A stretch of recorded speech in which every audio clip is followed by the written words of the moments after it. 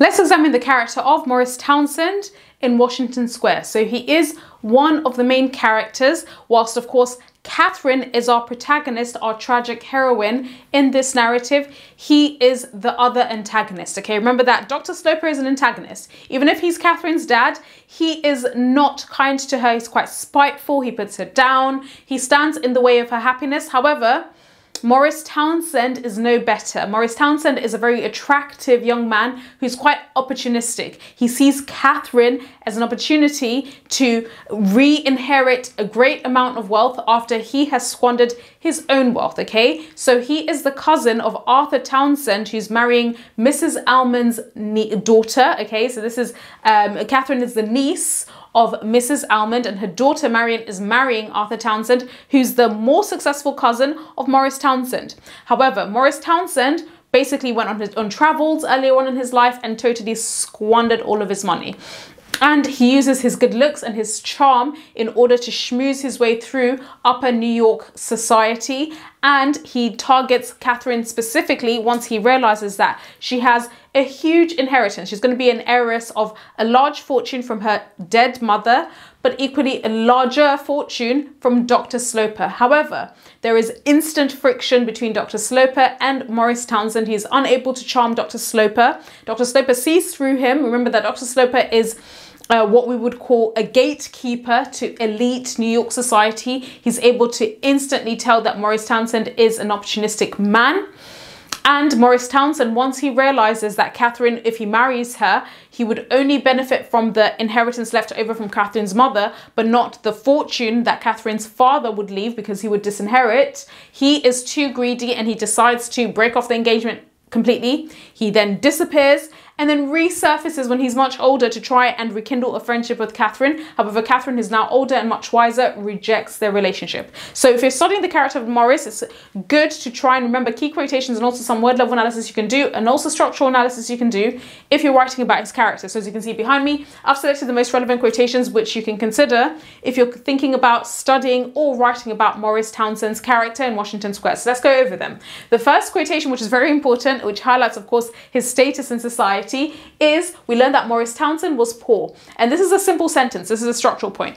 Of course, this is illustrating is within elite New York society, Morris Townsend distinctively stands out, not because he's attractive, but most importantly, he actually stands out because he doesn't have money, right? A gentleman in New York society in the 1800s needed to have money. Same goes for today, okay? A man of upper class status, one of the elements of being part of this um, elite crop of society is you do need to have money. And Morris squandered all of his money, okay? So of course here, it's established to us really early on that Morris is definitely mercenary. He's a wolf, okay? And he sees Catherine as sheep that he can, you know, use, devour, and discard.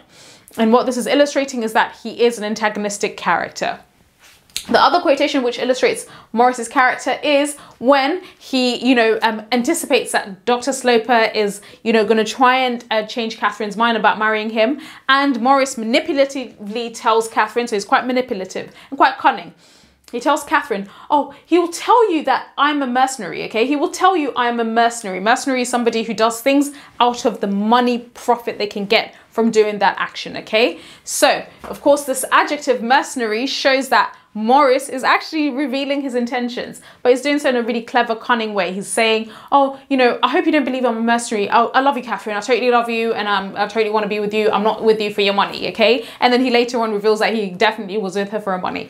Again, what this is illustrating, especially this adjective, is that Morris is very cunning, very conniving, and very, very manipulative as a character, okay? He's very, very cunning.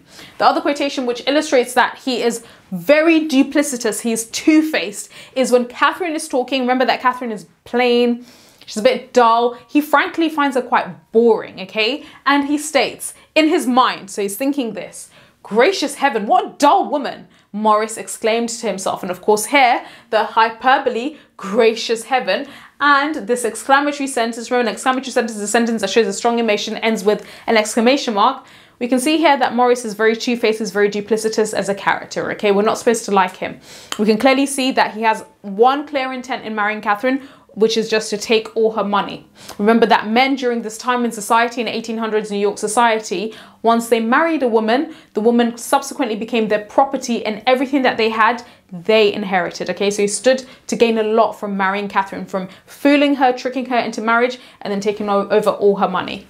The next quotation, which is related to his character, is when he realizes, after she's come back from the year long trip in Europe with her father, he realizes that the dad has never changed his mind and he will never inherit the money from Dr. Sloper. He, the game is up, the gig is up, and suddenly his charming appearance changes, and he now figures out how he's going to dump Catherine because Catherine is looking at him and she's telling him, "Look, you know, we can still get married because I still have my mom's inheritance. It's fine, it's fine." And Morris realizes he's not going to inherit as much as he thought he would from marrying her. And Catherine looks at him, and it seemed to her that a mask had suddenly fall, fallen from his face. Okay, so it seemed to her that a mask had suddenly fallen from his face.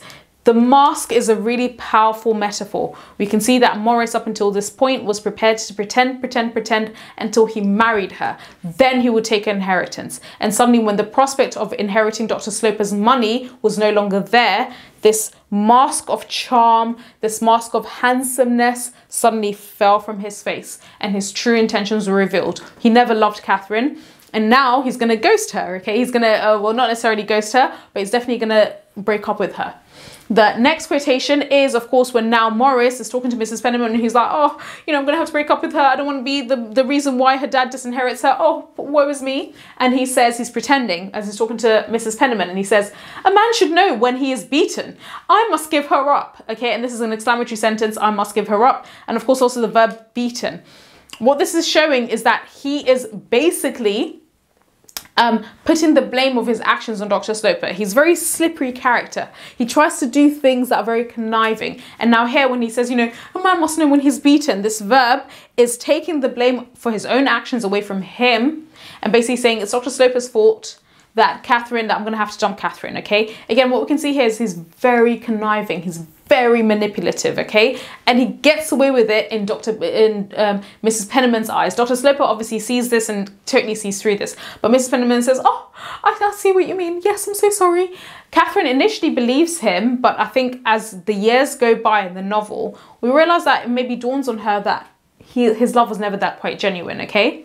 The final quotation relating to his character is when he uh, is telling Mrs. Penniman, look, you're going to have to dump her for me. I'm not going to dump her let her down easily. And he says, you know, this is the reason.